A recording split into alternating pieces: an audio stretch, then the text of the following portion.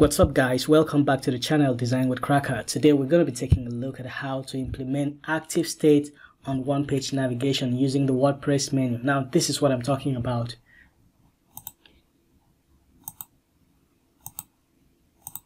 So you can see, you know, that the menu item has an active state once the section, you know, that it anchors to scrolls into view. And this is done using the default WordPress menu inside Oxygen.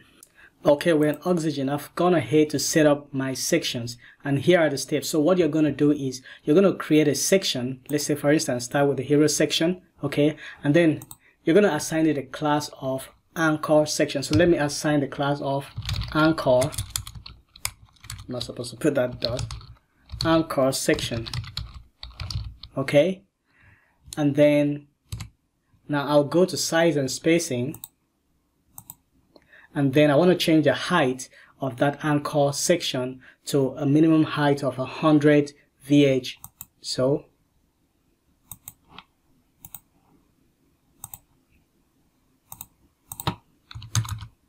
now that ensures that it always stays you know in the viewport that's the minimum height after that, you want to have, you know, the total number of uh, sections you want to have will have to equal the total number of your um, nav items. For instance, I have six navigation, you know, menu items here. So I have, so that's, that is one, two, three, four, five, six. Okay. Yeah. And, uh, I want my, um, you know, I want my logo to, to link back to the hero section. So that is a total of seven. So that is why I have the hero, about, features, gallery, client, pricing, team. All right, now the footer is not included. So the next thing we're going to do is to make sure that all of them have this class. So I'm going to assign the class of anchor section to all these from about to team. Okay, so I'm going to do that. Anchor section. Anchor section.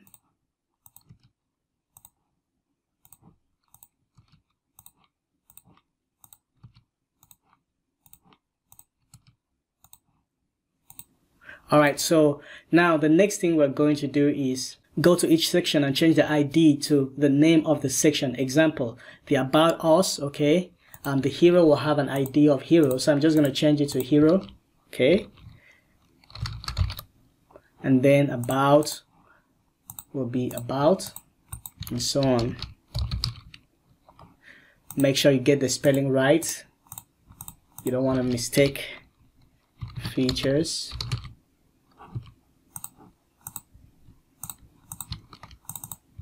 Sometimes it could be a, a hassle renaming this. So click two times to rename clients. Okay. So I have gallery here, clients, pricing. And you click that, you click one, two. Select all. Pricing. Alright, so client, pricing, then team. Alright. Now we are done with the sections. Let's head over to WordPress menu to see how to set up the navigation. Now here's my navigation. So I have one, two, three, four, five, six items. And then this is how I set them up. You can see they are all custom links. So the first thing you need to do is to create your menu and then you add the nav items to the menu using custom links. Okay. And here you're going to add, for instance, for each link, add the corresponding section ID you created in Oxygen.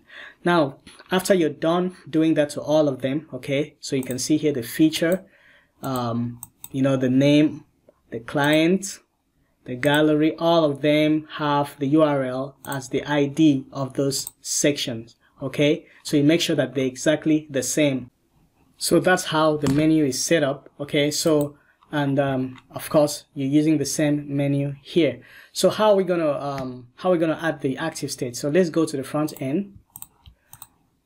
All right so right now you can see that we don't have an active state but another thing I want to do is to make sure that this header you know is fixed header so that we can see. In our example you know we're able to see this move because the header is fixed. Uh, to do that I'm gonna go ahead and select the header wrapper. And then I'm gonna go to layout and set the position to fixed okay so um, it's always fixed and then I'm gonna set the z index to like 20 okay And uh, because it is fixed, we need to offset the hero top padding, okay? Um, because it collapses and it's the hero goes behind it. So it's getting too close. I'm just to change this like 180 or to 200. Okay, so that works. I'm to save that and take a look at the front end and see what results we have. So you can see we have a fixed header. Now the next thing I'm going to do is to launch the developer tools because I want to use, I want to write my CSS, you know, right here. First, we're going to write a CSS for how we want the active state to look. Okay, I'm going to manually add uh, an active class to one of the link items uh, to get a preview. So what I'm going to do is to select a link item. Let's select the about. Okay. So you can see here, this is the about link item. What I'm going to do is to click um, edit as HTML. Okay. And then um, I'm going to add just class equals to active. Okay. All right. So now you see it has an active class. So we're going to use that. Now because it has an active class, we're going to use that to style our active class. Okay. All right. So I'm going to um, go to the uh, style editor and add a new uh, style sheet. So the first thing I'm going to do is uh, let's, uh, we forgot to check the menu ID. Okay. So um, the nav has an ID of split menu. Okay. That's the ID. Take note the nav. Okay. So um, I'm going to go back to that style editor. Then I'm going to use the ID. I'm going to target the split menu. Okay. And the anchor.active. All right. So I want to give it a color. Um, let's give it uh, for one E for FF. Okay. So if I take this off, um, you see that color is gone. So the, styling is already showing. Okay so that is it. So that's the color. We're going to give it a border bottom. Uh, border bottom. And we're going to give it a 3 pixel solid. And uh, we're going to give it the same color. So I'm just going to copy that color. Okay. And paste there. All right and then the next thing we're going to give it a padding bottom. Bottom. Padding bottom of we don't want to make it zero pixel. We want that to come close. If it is too close why don't we make it like a one or two pixels? Let's see. Okay. Now I'm going to give it a transition. Okay. Um, now we want to trans we're going to do a transition on the border color okay uh, so I'm give 0.4 second all right is. Now it is important that when you're giving this transition you define okay you define the property because this is going to help with performance. Sometimes the transition might look wobbly you know and inconsistent you know for if you don't do this so it's very important you do that. Secondly since we've given the border bottom a 3 pixel value we need to give the original state the same value okay so that it doesn't wobble when we transit and we're going to set that to you know transparent. So let's do that. Split menu okay. A. So not a active this time so we're going to give it a border bottom of 3 pixel solid. And uh, make it transparent. All right. We're going to give it the same padding okay padding bottom, we're going to give it the same value of 2 pixel. So you can see the active class already has, um, you know, has that styling, okay? All right. So now we're done with the CSS. Next we're going to do is to write the JS to assign an active class to the link item that corresponds to the anchor section that's visible in the viewport. So what we want to do is, you know, if the about is invisible, we want to assign the active state to about, okay? If the feature is visible, we want to assign the active state to feature and so on, okay? All right, so we're going to go to console. You know what? Okay, let's do that in the builder. So I'm going to go back to the style editor and then I'm going to grab this code, copy it and go into the editor. Uh, there's one thing, one important thing I'd like you to take note of. Now, remember that we have just six um, items that we have linked you know, to our sections, but we have one, two, three, four, five, six, seven sections. Now I did mention that I was going to use this hero, you know, I was going to link that hero section to the logo, okay? So um, I'm, i have to take off this anchor section because um, when we're going to write our script, it's going to look for exact number of, you know, the section. So when it loops through and finds that there are seven of them instead of three, okay, for each section. Now, if if it finds seven sections and then finds six link item, it's going to throw an error. So you're going to make sure that you have equal number of section as the link item. So that means I don't want to have this class, this anchor section class in the hero section. So I'm going to take that off. Very important. I'm going to add a code block. Uh, let me move that to the top. Okay. And then I'm going to drop in that, uh, that CSS that we wrote. The next thing we're going to do is to go in and write our JavaScript. But to save time, I'm not going to write it. I'm just going to copy what I already have um, and paste. Then I'm going to go through it. So I'm pasting this. Okay. Now, of course, so what we have here is Windows dot uh, event listener DOM contents loaded. Now that's going to make sure that all the contents are loaded before the script is executed. So we have a constant called section, a variable called section, okay? And then that is assigned to the anchor section. So that it was anchor section. Let's see, section, not sections. All right. Okay.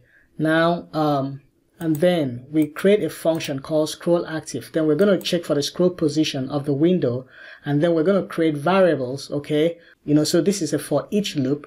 So section that for each section is going to go through and you know create a variable for the height of the section. It's going to create a variable that uh, that calculate the distance uh, from the top of the browser to the top of the section and it's going to subtract uh, 150 pixels from it and it's going to create another variable that will um, grab each of the sections ID. So we create a, another variable here, which is an anchor, which is we call anchor, and that is uh, we're doing document.query selector. Now we're we are selecting each of the link item based on the section ID.